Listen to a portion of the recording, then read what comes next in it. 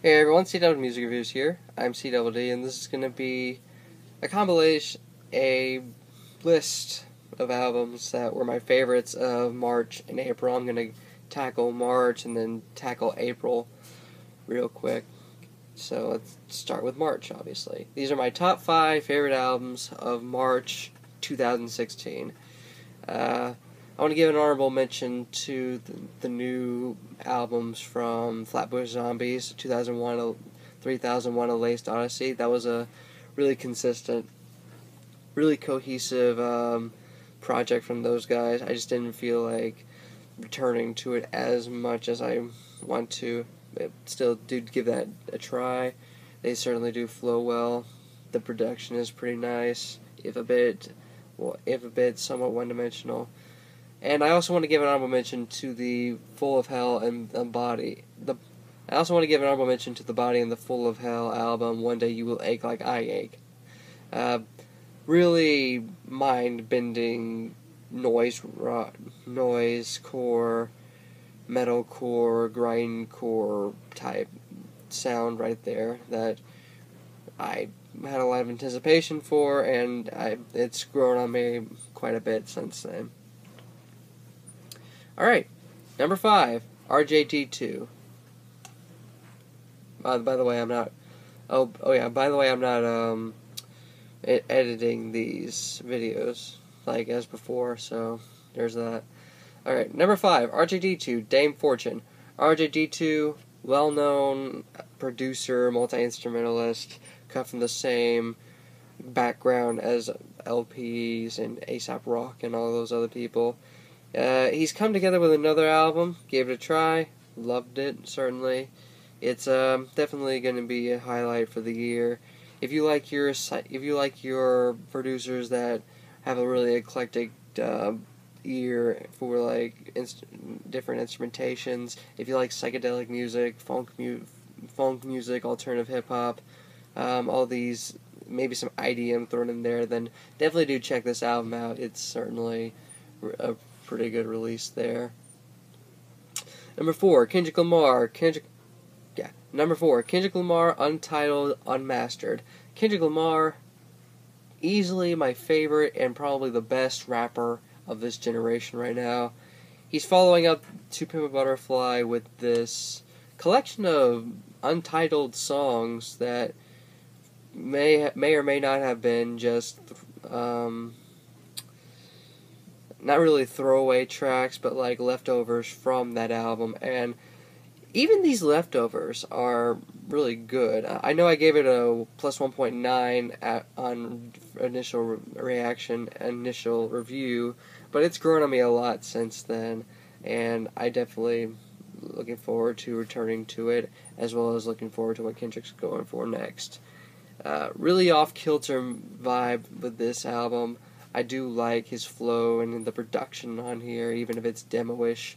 But still, do definitely check this record out if you have not somehow. And if you haven't check it, checked out Kendrick by now, you'll need to make a note of fixing that. Number three, the new Boris and Merzbow album, Gensho. Uh, Boris, experimental metal band. Merzbow, pioneering no- noise Pioneer, yeah. Uh, they came together with another another collaborative record, and it is some really intense stuff.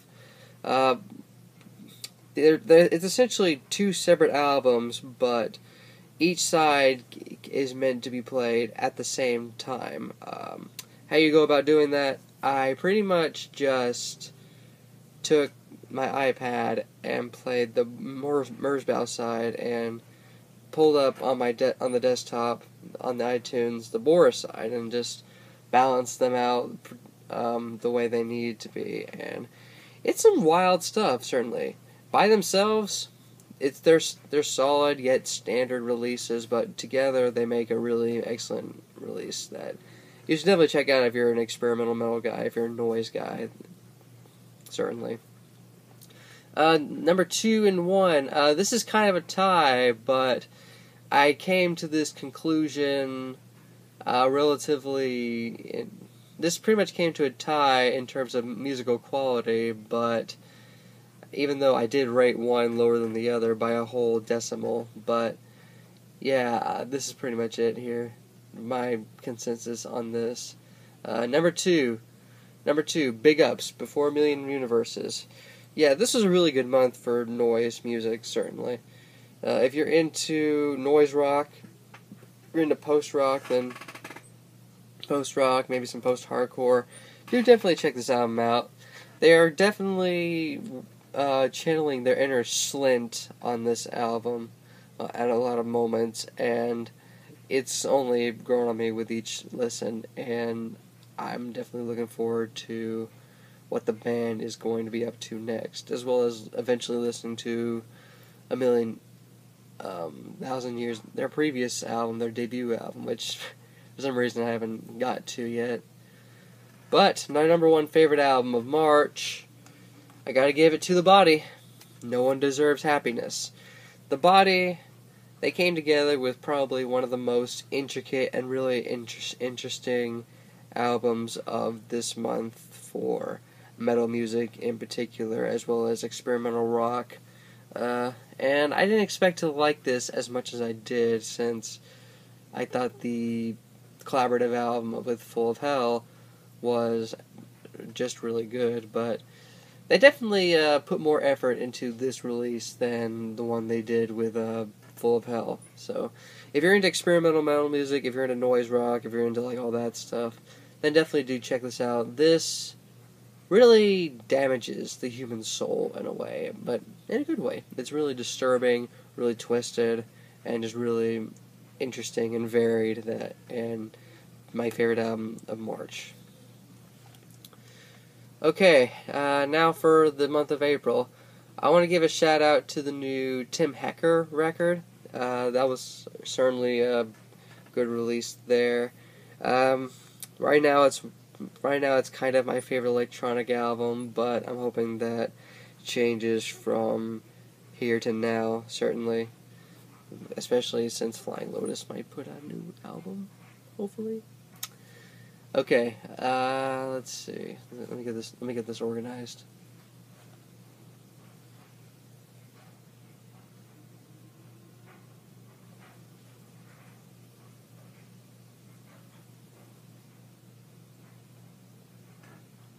Okay, number five, Aesop Rock, The Impossible Kid. Aesop Rock came together with another solid release. I'm, I know I gave it a plus 1.9 originally, but it's grown on me with more listens, and I've been getting more and more of his lyrical wordplay, certainly. Uh, and from what I've understand of him, from what I've understood of him, this is his more personal and maybe slightly accessible release yet, and it's definitely something you gotta look look um, forward to. Um, if you're into artists that rap and do their own production, then definitely do check this out. This is definitely a highlight for hip hop for this year, and probably my favorite alternative hip hop release of the year right now. Uh, number four, the new Weezer album, the White Album. Weezer are back. They, while they're not really doing anything too different for them or too different for their influences they have, they came together with a nice immediate, catchy pop rock and alternative rock album that I just keep going back to over and over and over again. There's not really a single bad track or one track that's less than the other on the album aside from Jacked Up, but that's just me personally. Um, if you've been waiting for Weezer to put out a great album, a really good album, then wait no longer. Give this a try. All right. Uh, Number three, the new Sturgill Simpson album, A Sailor's Guide to Earth. Sturgill Simpson being this alternative country musician, he's putting out, he's finally gained a new fan in me with this nice fusion of psychedelic music, southern rock, Americana, his alternative country sound. It's definitely a really interesting and probably the best country music album of the year as of right now. Anyway, I'm open for something to change there. But regardless, this is definitely a good a good album. Check it out if you have not already. Even if you're a skeptic when it comes to country music, because this is particularly good. Okay. Number two, Beyonce, Lemonade. Beyonce, surprise release, a new album, Lemonade, about infidelity, supposedly linking this album to infidelity Jay Z committed on her. But beyond this, it's definitely going for a more artistic, a more artistic and intricate vibe with like the, all this varied instrumental and production choices. It, has got a lot of it's got a lot of collaborators on this album, which a lot of people decried, but when you're listening to when but the music is still the music, and I think the music is quite fantastic. And right now, it's my favorite pop album. It's my it's my favorite pop. It's right now. It's my favorite pop album of the year, and I'm definitely looking forward to if Beyonce is going to drop a new album in the same vein. From what I understand, Jay Z is going to be dropping an album that's pretty much his side of the story, but um, I'm definitely going to review that, but I don't know if it's going to be as good as this, definitely. But finally, my favorite album of April King Gizzard and the Lizard Wizard, Nonagon Infinity. King Gizzard and Lizard Wizard, Australian rock ba- band, and they finally dropped a, a, a new, and they've yeah, they've dropped a new album to add to their prolific discography. It's essentially this infinitely looping psychedelic and garage rock ba- uh, jam that, when you put it on repeat, the last track of the album loops perfectly well into the first track, and it's definitely right now my favorite rock album of the year. Um, I'm definitely looking forward to what they're doing next, especially if it's going to be in this that's that's a sorry. That's my dryer. If, especially if it's going to be this conceptual and really intricate, and I'm definitely going to keep close attention to what they're doing next. Certainly. So yeah, that's my favorite albums of March and April. Uh, what did you think of these albums? Did you like them as much as me? Did you dislike them as much as me? Are you somewhere in the middle? And what should I consider reviewing for the month of May? And I've already I've already got a few of, of, them in mind. Certainly, um, yeah. This is CWD Music Reviews here, saying off.